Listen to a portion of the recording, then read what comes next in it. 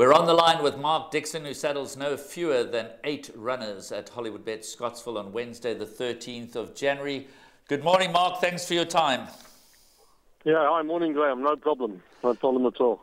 Okay, let's get straight to it. You start off in race two with a very competitive runner on form, at least in the form of number five, Trumpet Voluntary, who ran a cracker last time out, much better than any of his previous runs. What are you expecting tomorrow?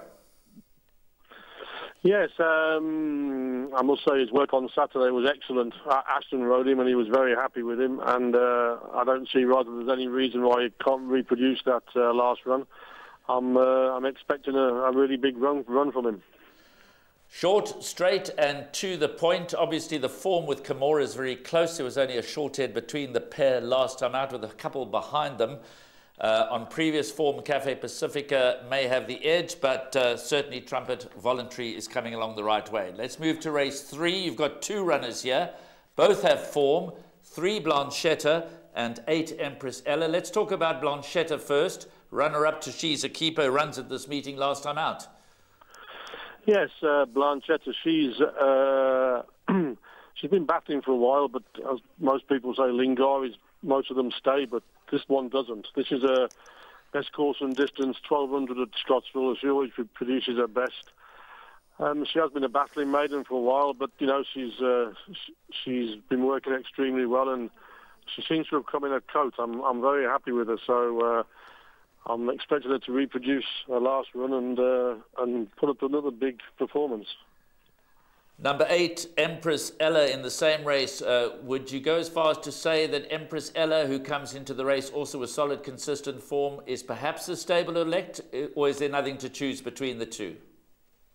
I think ability-wise, Empress Ella is uh, the better horse, um, but she does have issues. She's got a bit of a temperament, and she does have a few niggly problems here and there, but uh, she's going to the race, she's fitting well, and uh, you know, she produces her best. She, so there won't be much between them on the day.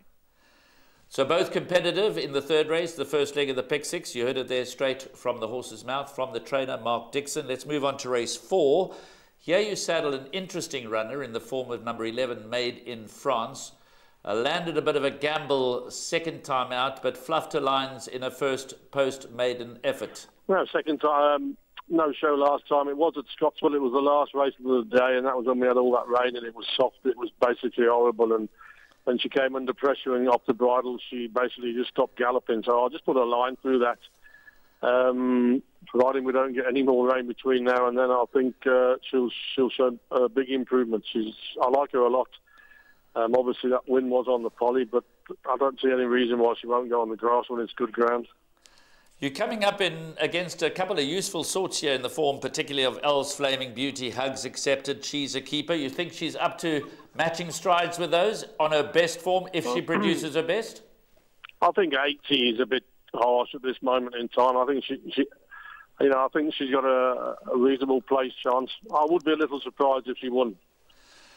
Okay, so let's move on then from Made in France in race four. You saddle a couple of runners in race six. And in particular, nine Jackson Wells looks to come in the race with a bright chance of winning. Yeah, I really like Jackson Wells. I think she's better on the grass. I think this is ideal for the track trip and on the grass.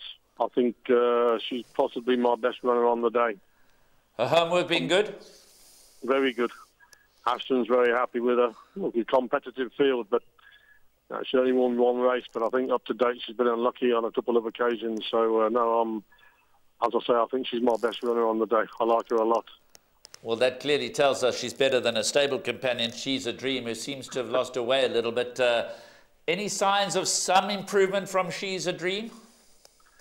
Well, she displaces and she's made a bit of a respiratory noise on her on her way, but she's uh, she's done well. She will be going to stud this year later on, but you know, I've just she loves to put it this way. She's a different horse at Scottsville. She hasn't been there for a long time, so you know we're hoping to see some improvement. If not, then you know I just might uh, retire her and leave her to go to uh, Spring Valley in the in um, in the season.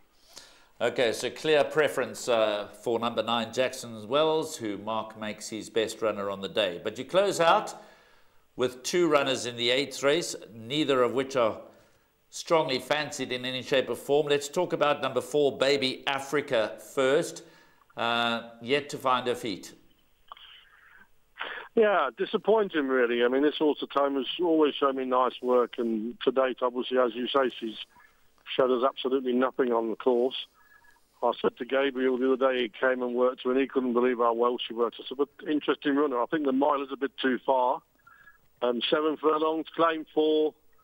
Uh, we'll take her up nice and handy and, and uh, see how she fares. If she reproduced her work at home, she would have a good place chance. But as I say, we, you know, she's uh, been disappointing to date. So certainly if one is looking, viewers are looking to find a roughie to include into the back end of quartets on her track work, no surprise to see Baby Africa perhaps fulfilling that role. No, definitely. That's what I would say. Yeah. All right, the stable companion is number 12, Red Hot Chili Girl. She's been anything but red hot up to this point. yeah, yeah, she just um, uh, wide draw, just giving her a run for experience, and we're hoping just to see some improvement. So uh, we'll just the jury's still out on her at the moment. Mark, thank you for your time. You've declared that you believe Jackson Wells to be your best runner on the day, although obviously Trumpet Voluntary, Blanchetta, Empress Ella all come into their respective races with chances. We thank you for your time. Have a good day. No problem. Thanks, Graham. Bye.